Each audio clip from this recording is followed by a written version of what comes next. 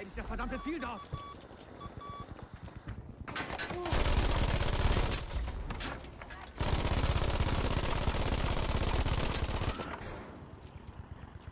Zum Glück hast du mich.